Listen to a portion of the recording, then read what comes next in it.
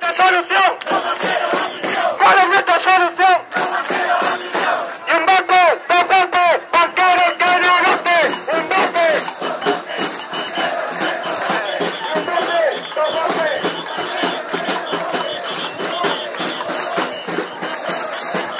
Un banco, escucha, estamos en la lucha, Zapatero.